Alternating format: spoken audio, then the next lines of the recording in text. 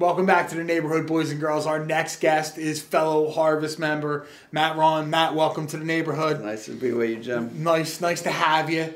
So uh, Matt does a bunch of different stuff under one umbrella. Rahn Companies, right? Correct. Yeah. Um, your main stuff is concrete. Uh, so that's one of our divisions. All yeah. right. So the Rahn Company is made up of two divisions. We have a landscape company, and then we have a construction company. We do concrete and excavating. Okay. What was first? I started with the concrete and then excavating. Okay. Now, did you work for somebody else and do that, or you just were like, "Hey, look, I want to open up my own business. I'm gonna do this." No, so it's funny. When I was younger, my neighbor had his own construction business when I was like in kindergarten, five years old, and he'd bring the equipment home at night, and we'd naturally want to go over there, and he'd ride us around the backyard. So I had this little paper my mom had that said, "When I get older, I want to own my own construction company." Yeah. Uh, he moved away when I turned like seven, and then I never knew anybody had a construction company. So I got into high school. You know, you get lost. I didn't know what I was gonna do. Graduated high school. My friend's dad was like, "You need a job." I was like, "Yeah, I just need a job. I don't know what I'm gonna do." He's like, "Well, I could use a construction laborer. Be here tomorrow at 6 a.m." I was like, "All right." Nice. I thought we were gonna be like framing houses. He takes me out in this field with this big excavator, and I start digging this ditch. And they're like, "Climb down in the ditch and put these pipes together." I'm like, what the heck is going on? so it was a little bit of a rough start, but um, You're in the ditch. Yeah, that's the kind of guy he was. He just yelled at you all day, Right. like you're supposed to know what was going on, Right, and I had right. no clue. But I just rolled with it for a while, and I, I liked it. I started to learn. He was, even though he was like one of them rough, hard people, he was a good teacher, and like I learned a lot from him. So he taught me how to read the blueprints and understand different technical things. And eventually, I had a motorcycle accident. And they put me in the office on, on light duty because I broke both my legs. Okay. And uh, that was an event, obviously, break both your legs. Sure, sure. so they put me in the office, and they're like, "You're just going to do light duty stuff till like you get better, and you can go back in the field." I'm like ADD, I can't sit still. So I started just looking for stuff to do in the office, and I'd start like talking to people and learning about what they did. So I started teaching myself how to estimate and read the blueprints, and Okay. from there it kind of snowballed. I was a project manager. I worked with a couple other people, helped one guy kind of really grow his business, and then eventually one day I'm like, I think I need to do this on my own and just give it a shot. So I just went for it with me in a pickup truck, and I didn't really have any idea what I was And doing. what year was that? That was about eight years ago now. Okay. Yeah. Okay. So you had like a tragedy of getting in an accident, breaking both your legs, and really, probably looking back on that, you wouldn't be where you're at today unless that happened. You know. what I mean? Hundred percent. Yeah. Yeah, I think about that a lot. I reflect on those moments in Yeah. your life. Yeah. I know you're big on that too. A Sure. lot of people don't realize that or whatever. They want to be poor me, right? But if you can see past that and Mm-hmm. realize like it's putting you in a trajectory to be somewhere else in your life. Yeah. So we met through the Harvest Group. Yep. Um, and the Harvest Group is like a high performance network of people and not normally your kind of line of work. You know what I mean? Like most people that are in there are like blue collar or white collar as opposed to blue collar. So how did you find that network and how did that all happen where you get into the personal development coaching type realm? Yeah, um, I don't really know. I guess maybe on accident or it was meant to be. I had connected with Devin a couple years ago at the Burlington County Chamber of Commerce. Okay. I guess because he was young and I was always young and I didn't really even once I got my business going to like a pretty good level. I will admit, like I didn't know very much about business, and there was nobody I knew in my family or friends that really ran a business. Okay. So I had to figure everything out as I went. Uh, and even to this day, I'm still trying to figure things out. You Sure. Know? So I would gravitate to certain people and meet people and try and just learn about what they're doing. And so I had met Devin and just stayed in touch with him. And when he told me about the harvest, I said, "That sounds interesting. Let me jump in and see what it's about." Right. And now you're you're deep in it, you know what I mean? Yeah. Like you're not like just a fringe guy, you're in involved in it, doing a bunch of stuff. What else do you do for personal development? All, all the different things, you know, whether it's podcasts, whether it's 75 hard, all those different things. What do you do on a regular basis for that?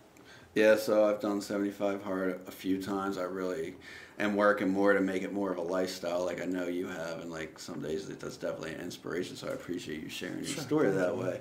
Um, but there's numerous things. Definitely podcast. Definitely reading. Right. One thing I think you learn from 75 Hard, and there's even a couple other people that have a similar thing now. Just read 10 pages a day. Like Sure. 10 pages a day can definitely change your life. Right. Yeah. But it's the consistency, and I think that's been a big thing that I've learned too. Is no matter what it is, consistency. Right. Like.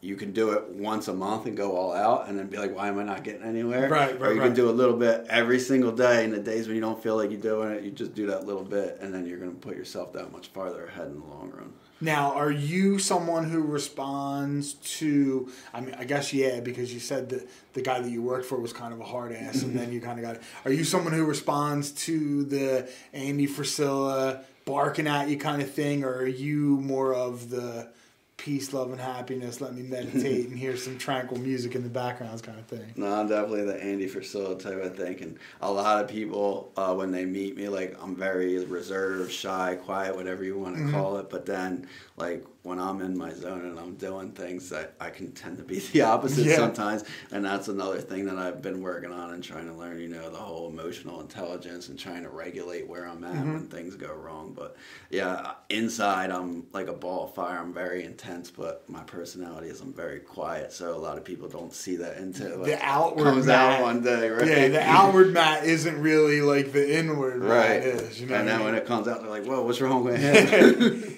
how have you transitioned from being a laborer, a worker, a hard working person to a business person, an entrepreneur, a leader? How has that gone and, and, and how do you maintain that type of, of role change?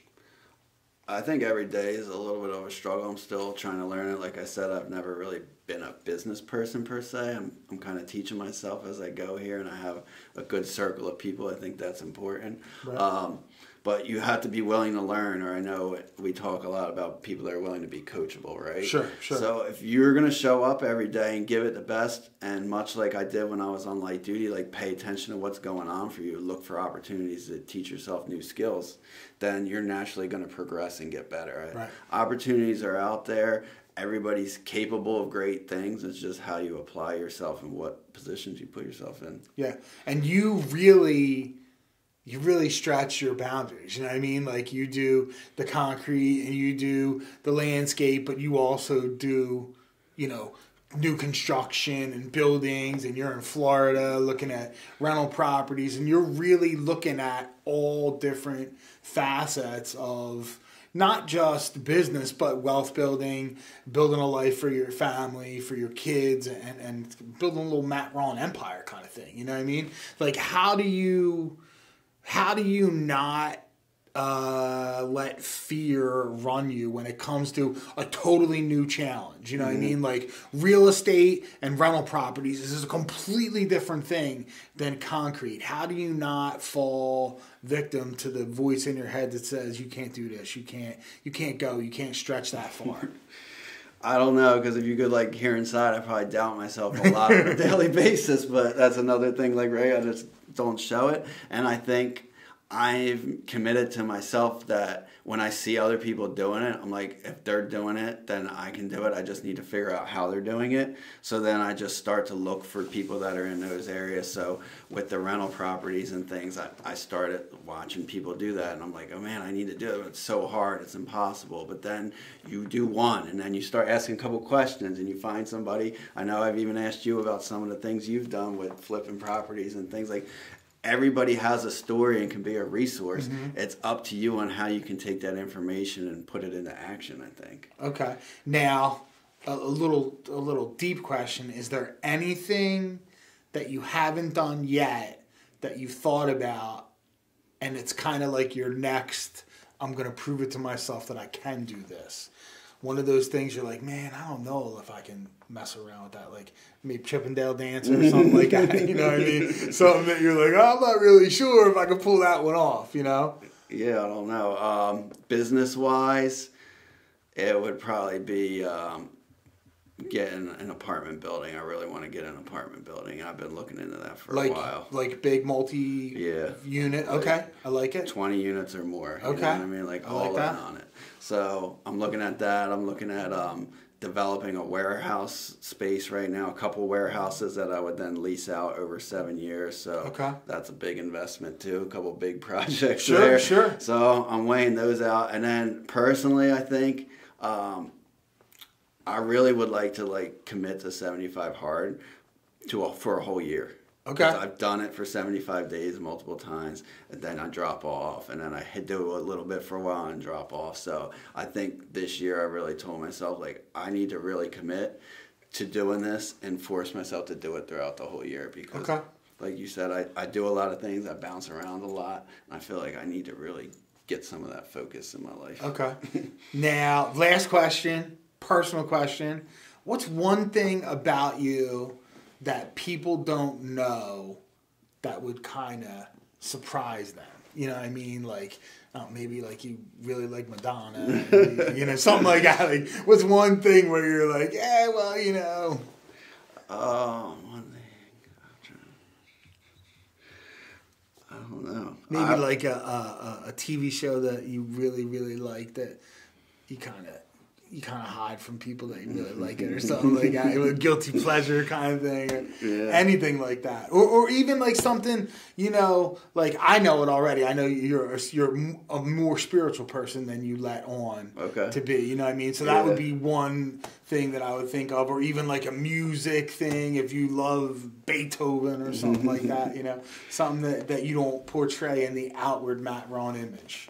Yeah, I guess before with music, somebody asked me before about uh, what my favorite music was, and I said Frank Sinatra because growing up, my dad would always listen to it on Sundays. It has Sunday Sinatra. Yeah, Sundays it would always be playing through our house. I would not have guessed that one for sure. for and then, sure. like I said, people just never guess that. Like inside, I have a lot of energy. I like connecting with people, helping people. I go back to my high school now, and they have a career counseling where I try and talk to kids about entrepreneurship. Okay. So I'm very quiet, and people think like I'm shy, or some people be like, "Oh, he's a dick because he don't talk to nobody." Right, right, right. But that's just I'm just quiet on the outside, but on the inside, I really have a passion for helping people, and I think my story, like. I feel like now I owe it to show other people because I never thought I would be where I'm at, and I feel like I didn't have anybody around me really. I mm-hmm. kind of figured it out as I went, and it's the same thing I said earlier. Like I see other people doing it, they do it, I could do it. I feel the same way about everybody. Like if I'm doing it, you could be doing it too. Sure, Let sure. me show you the way. So Yeah. I feel like that's one thing maybe people don't realize, but I definitely love to help people out, and if people need help and reach out to me. I try and help them however I can. Awesome, man. Matt, thank you so Thank much you, for Jim. coming by. We'll be right back with the next guest on Mr. Mortgage's Neighborhood.